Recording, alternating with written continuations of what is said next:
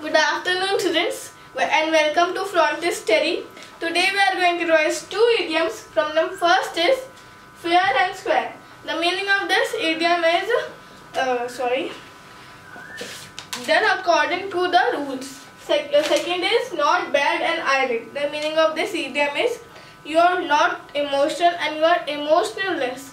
And let me explain with you the funny example. Like anybody uh, and your family member, if you ate two kg of ma- uh, two kg mangoes, and somebody asks you, you have ate two kg mangoes, and you have no emotional, you have no emotion, uh, emotion, and you are you are not emotional. You are not giving any emotion to.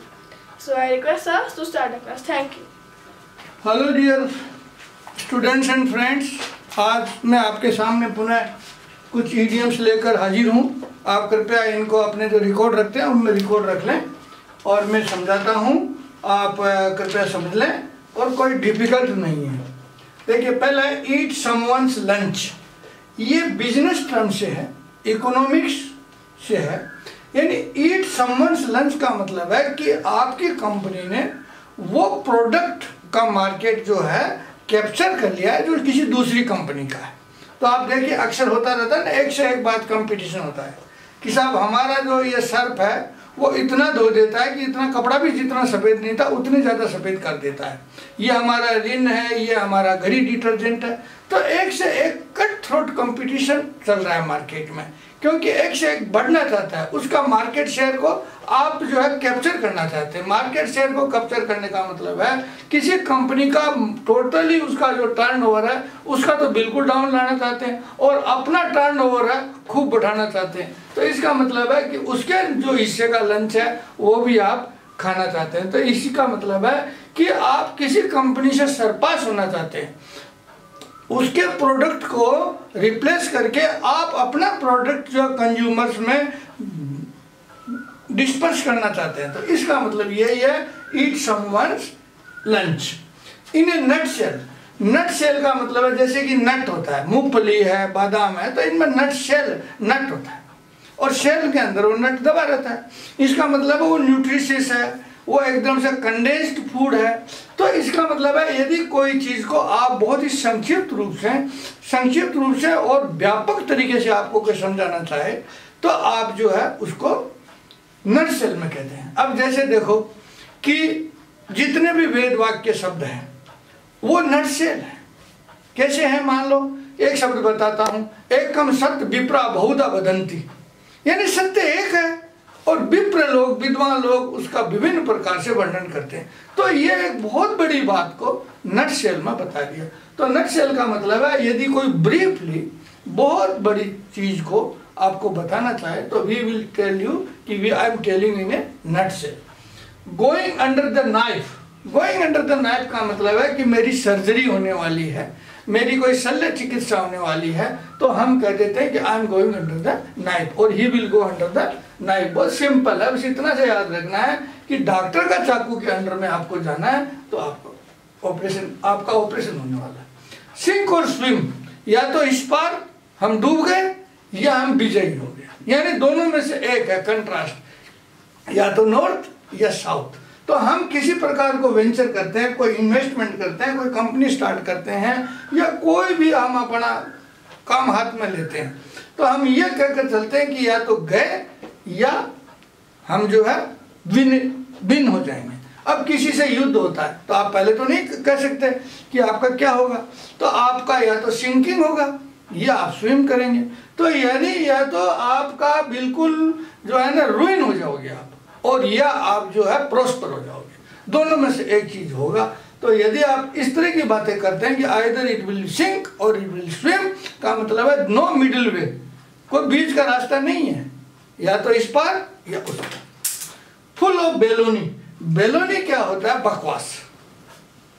मतलब useless things non intelligent divide of intelligence full of baloney का आपका speech है ना साहब? वो full of बेलोनी है। यानी इसमें कोई किसी प्रकार की इंटरेस्टिंग चीज़ नहीं है। किसी प्रकार का जो है ना, हमको ज्ञान प्राप्त होने की गुंजाइश बहुत कम है। तो बेलोनी का बोलते हैं कि बेलोनी आता है, बोलोगना। बोलोगना का मतलब है कि जो मीट के टुकड़े बचे कुचे है ना, उससे कोई बर्गर बना दे, बोलोगना बता दे, उसको हम बेलोनी, बोलोगना बोलते हैं। बोलोगना से ही बेलोनी आई है। बेलोनी का मतलब है कि बिल्कुल स्क्रैप जो और कोई काम का नहीं है, उससे कोई चीज़ हम करें तो वो हमको बेलोनी बोलते हैं। बेलोनी का मतलब आप इतना ही समझ ले कि वो है ना सेंसलेस थिंग्स नॉन सेंस मतलब रबिश तो फुल ऑफ़ बेलोनी का मतलब जिसमें केवल बात ही बात हो, केवल विंड विंड हो और कोई तथ्य नहीं हो। केस स्ट्रैप्ड केस स्ट्रैप्ड का मतलब है शॉर्ट ऑफ़ कैश यदि कंपनी के पास पैसे नहीं है लिक्विड मनी नहीं है तो वो कह सकते हैं कि हम कैश स्ट्रैप्ड है। यानी हमारे पास कैश की कमी है। बाकी तो एसेट हो सकता है। बाकी लिक्विड एसेट्स नहीं है हमारे पास तो वो कैश स्ट्रैप्ड हो गया। नाउ अब मैं लाया हूँ आपके लिए बिबलियो अब देखिए, तीनों में बिबलियो है। Biblio is related to books books अब एक में तो बिबलियो मेनिया हो जाता है। मेनिया होने का मतलब है केवल आप किताबें इकट्ठी करते रहते हैं। जहाँ मौका मिला, जहाँ थोड़ा बहुत भी आपको सहूलियत हुई, किताबें इकट्ठी करते रहते हैं। आपको एक मेनिया हो गया। कई लोगों के ऐसे भी ऐसे उदाहरण आए हैं, जिनके पास मिलियन बुक मिली है। कोई मतलब नहीं, क्योंकि उनको मेनिया था, किताबें इकट्ठा करने। का दूसरा है बिब्लोफीलिया बिब्लोफीलिया का मतलब बुक से लव है। जहाँ आप भी कोई नई किताब निकलेगी, आप फट खरीद लेंगे और खरीद करके उसको पढ़ेंगे भी। बिब्लोफीलिया यानी लव फॉर बुक्स। अब नेक्स्ट है बिब्लोफोबिया बुक फोबिया का मतलब है फियर ऑफ़ द बुक्स अब आप देखो कि फियर ऑफ़ द बुक्स में क्या होता है कि कई बार जो है सरकारें भी है, किताबों को बैन कर देती है। क्योंकि उनको पता है, ऐसा लगता है, उनका डर है कि ऐसी किताबें पढ़ने से समाज में जो चीज़ें चली आ रही है, जो ऑर्थोडॉक्स चीज़ें चली आ रही है, वो नाश हो जाएगा। यानी लोग बाग थोड़ा ज्ञानवान ज़्यादा हो जाएँगे। लोग बागों को थोड़ी असलियत पता लग जाएगी। वो सरकारें या वो समाज उस समय नहीं चाहता कि पब्लिक को यह पता लगे। या वास्तव में यह भी हो सकता है कि वो किताबें भी थोड़ी खराब ही हो। डिस्टेबलाइज कराने की हो। तो सभी ऐसा नहीं होते हैं। देखो, आप रोमन साम्राज्य में भी आपने देखा था कि प्रीम इम्प्रीमाटूर था। यानी लेट इट बी प्रिंटेड का कानून था। और उसके बाद जो आज भी चला आ रहा है। आपने देखा सेटनिक वर्सेज सलमान रशीदी की किताब है। बैन है इंडिया में नहीं पढ़ी जा सकती इंडिया में नहीं ला जा सकती। और सारी, बहुत सारी किताबें यदि आप नेट पर देखेंगे तो बहुत सारी एक बड़ी लिस्ट है, जो किताबें बैन है। वो बैन इसलिए है कि उनको समाज में या तो उनमें पूरी रिसर्च करके वो नहीं लिखी गई है, या उनसे समाज में जो है ना बेमस्य फैल, बेमनस्य फैलने की गुंजाइश रहती है तो जो जिस समय की सरकार होती है, वो उसको बैन कर देती है। और समय के साथ में वो जो है, बैन लिफ्ट भी हो जाता है। परंतु मेरा तो आपको यही बताना था कि बिब्लियोमेनिया क्या होता है, बिब्लोफिलिया क्या होता है, बिब्लोफोबिया क्या होता है। तो इनका मेनिया, फिलिया, फोबिया, ये जो है ना, इस इस शब्द को करेक्टराइज करते हैं कि पुस्तकों के साथ में क्या जो है सहूलियत होती है। मेनिया का मतलब है, मेनिया हो जाना, इकट्ठी करने का, फिलिया का मतलब लव हो जाना, फोबिया का मतलब डर तो आज के लिए मैं इतना ही, आपके लिए लाया हूँ। आप इनको रिकॉर्ड कर लीजिए और नेक्स्ट टाइम मैं आपके लिए और भी बढ़िया जो है ईडीएम्स लेकर आऊँगा।